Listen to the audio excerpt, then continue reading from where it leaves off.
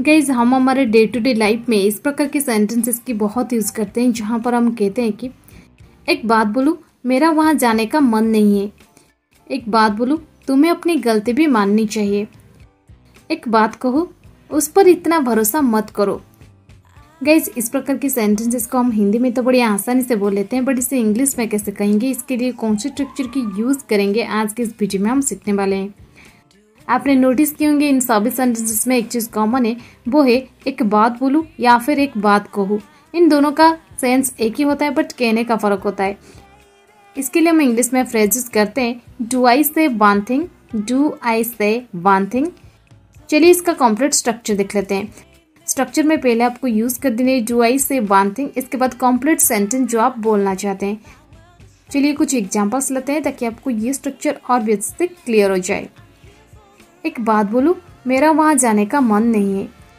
Do I say one thing I am not in a mood to go there do I say one thing I am not in a mood to go there एक बात कहो, उस पर इतना भरोसा मत करो। Do I say one thing don't trust him so much do I say one thing don't trust him so much एक बात बोलूँ, वो अपनी जगह पर सही है। Do I say one thing she is right in her place do I say one thing she is right in her place एक बात बोलूँ, वहाँ मत जाओ।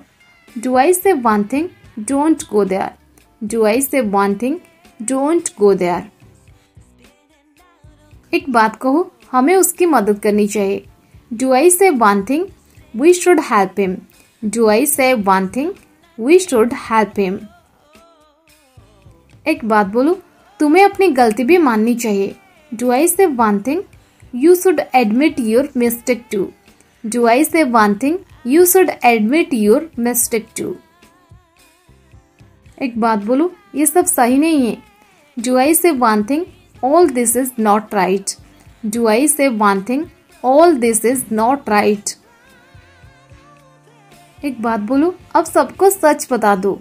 Do I say one thing one the truth now do I say one thing tell everyone the truth now एक बात को उस पर इतना भरोसा मत करो। Do I say one thing don't trust him so much do I say one thing don't trust him so much एक बात को तुम उसके साथ गलत कर रहे हो। Do I say one thing you are doing wrong with him do I say one thing you are doing wrong with him